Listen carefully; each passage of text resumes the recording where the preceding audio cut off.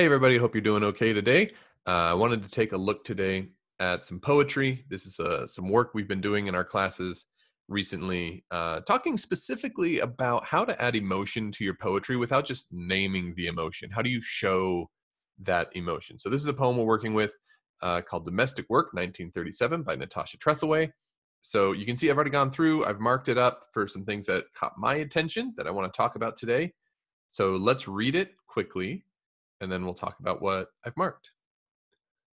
All week, she's cleaned someone else's house, stared down her own face in the shine of copper bottomed pots, polished wood, toilets she'd pull the lid to, that look saying, Let's make a change, girl. But Sunday mornings are hers. Church clothes starched and hanging, a record spinning on the console, the whole house dancing. She raises the shades, washes the rooms and light buckets of water, octagon soap. Cleanliness is next to godliness. Windows and doors flung wide, curtains two stepping forward and back, neck bones bumping in the pot, a choir of clothes clapping on the line. Nearer, my God, to thee. She beats time on the rugs, blows dust from the broom like dandelion spores, each one a wish for something better.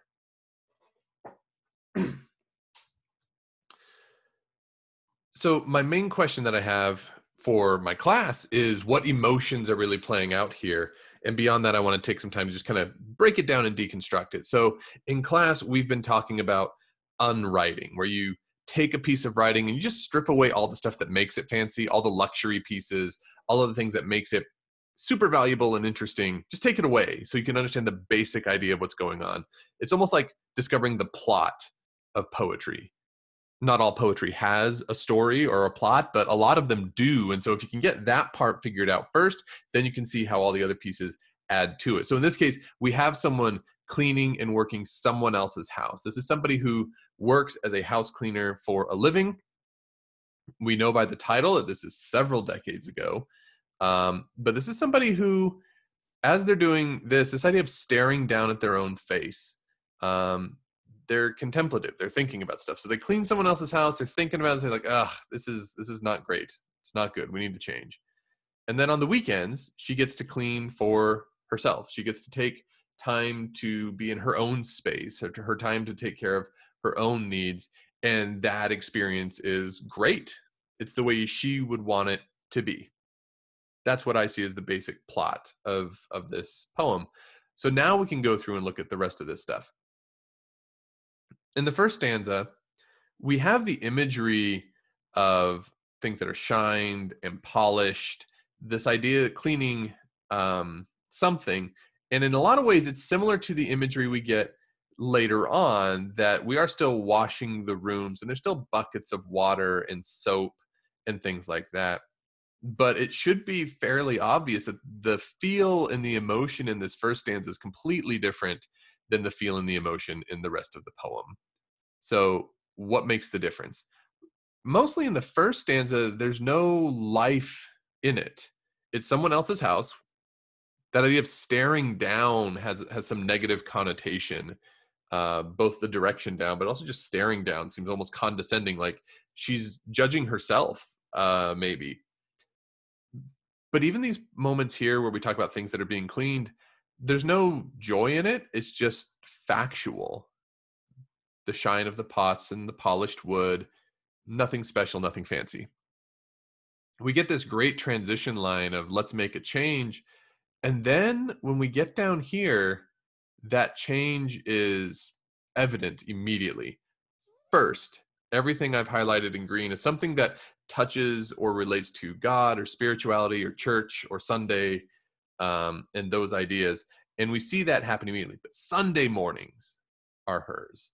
And so the association that you know so many people have like sunday morning is is like a church time we see that this becomes almost like a spiritual exercise now I can see a potential problem saying, oh, hey, here's a poem about a woman who cleaning her house is a spiritual thing and how that could be really leaning strangely into different gender norms and stuff like that. I think there's something deeper here than that, though. This is something where, in, in one place, she's working for someone else, and now she's doing it for herself. She gets to do it on her own terms. She gets to do it in the way that she wants to do it. And so, all these blue markings here have to do with music and dancing and, and ultimately in this case it's the way she wants to do it. So she gets to listen to her music and do things her way. She gets to connect with her own living space.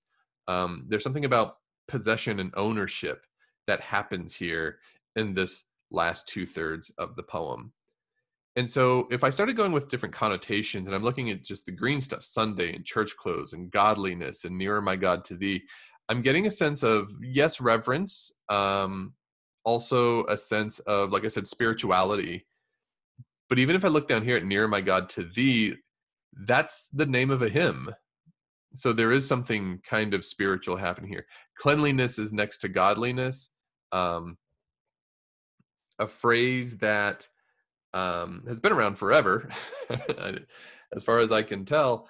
Um, but in this case, what she's doing again for herself is is some maybe some kind of connection between herself and in the spiritual. I really like the blue stuff here.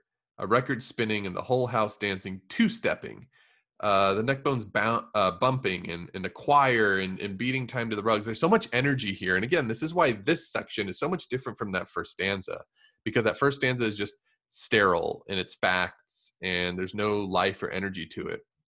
But because we have such an energy here and we have the reverence of her cleaning combined with the energy and livelihood of the dancing and clapping and, and beating time and choirs and everything else, there's something about taking time for yourself and taking care of yourself and your needs and in in your stuff that is rejuvenating and it's different than working for somebody else. And so if i want to talk about emotion in this poem i mean there's certainly joy down here. I think that's probably the dominant emotion as i as i look through the last chunk of this poem. There's a lot of joy. But again when we write poetry it's cooler and better and more interesting when you don't just say she felt joy while she cleaned her house because that's the boring way. That's the unwritten way of doing it. That's after you've stripped all the nice good fun stuff away. But instead by putting in this imagery with the record spinning and the house dancing and washing rooms and light those images through connotation bring us closer to understanding like oh there's happiness here there's joy here. Um, and i really like it. There's a lot that goes on here that i think is very cool. This idea of domestic work like i said this is several decades old where if we wanted to go back to like really this is just like a weird gender norm about women loving cleaning their house and um but there's something different here because the likelihood of a woman having work in the 1930s doing something like this was so prominent like this is probably a very real feeling for a lot of women at that time and, and still for a lot of women today dealing with other people's messes and other people's work. But the chance to like really do something for yourself and to take care of yourself and have that ownership and that pride about what you have and what you can take care of i think is really powerful